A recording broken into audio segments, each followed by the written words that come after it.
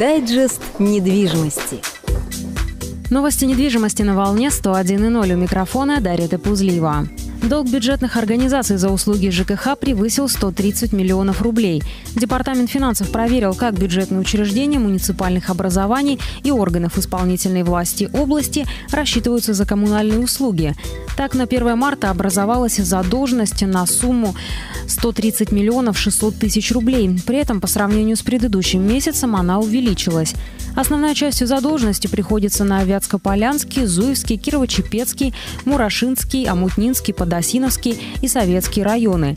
По областному бюджету по расчетам за коммунальные услуги наблюдается текущая задолженность в сумме 60 миллионов 300 тысяч рублей, сообщают бизнес-новости.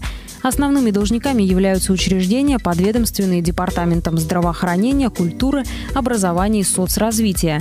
Основная причина задолженности – финансирование приоритетных статей расходов, а также предъявление счетов после отчетной даты.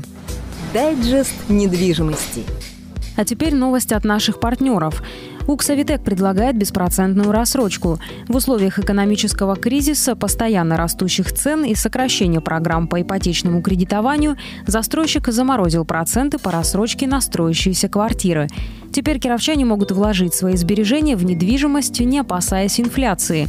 Если вы уже строите квартиру или офис, то беспроцентная рассрочка до сдачи дома сроком до трех лет будет предоставлена вам при условии соблюдения выбранного графика платежей и оплаты не менее 70% от стоимости квартиры к моменту ввода объекта в эксплуатацию – в случае, если вы только планируете заключить договор, условия заморозки процентов будут те же. Кроме этого, при первоначальном взносе 30% покупатель получит скидку в размере 500 рублей с квадратного метра от базовой цены. Если первоначальный взнос равен 50%, то скидка составит уже 1000 рублей с квадратного метра.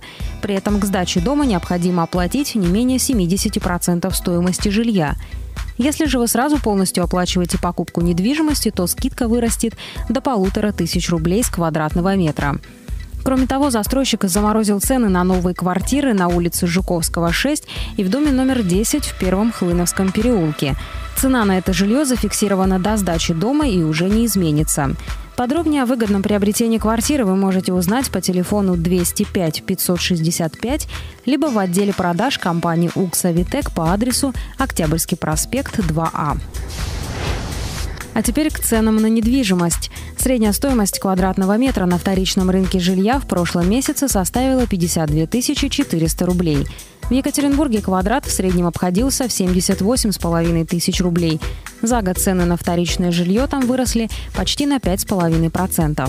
На этом все. В студии работала Дарья Топузлива. Дайджест недвижимости.